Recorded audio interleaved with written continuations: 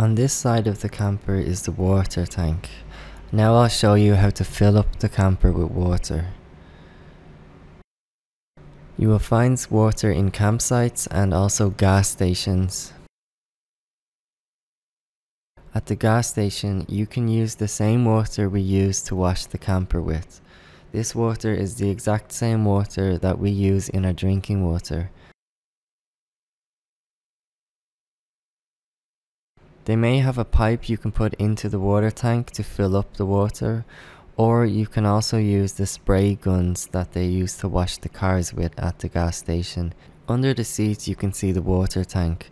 This is showing you how big the water tank really is, and this shows you where your fresh water is going.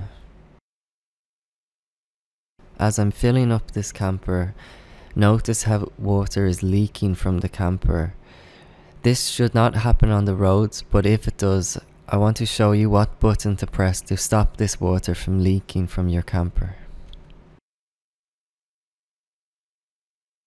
The reason water is leaking from the camper is because this here is a safety valve. When the temperature inside the camper drops below 3 degrees Celsius, the safety valve will release and it will start to drain your camper of all its water. It will first drain the boiler.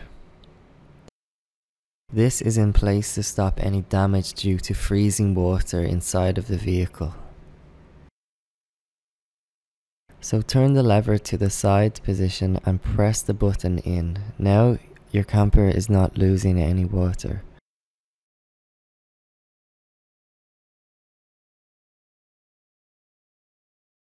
When you use water, water will go down the drains and into another tank. This is called the grey water tank. On the side or back of the vehicle you will find a pulley. This is connected to the grey water tank. Pull this pulley outwards if you want the grey water to escape the vehicle. To keep the grey water inside the vehicle, push the pulley inwards. This will close the seal on the grey water tank. When releasing the grey water from the camper, please be mindful of where you do this.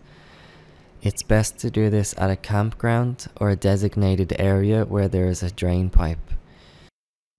When you're releasing the grey water, all the chemicals that are inside this water that you've used will go onto the ground. So make sure to respect the environment that's around you and be careful where you release the grey water.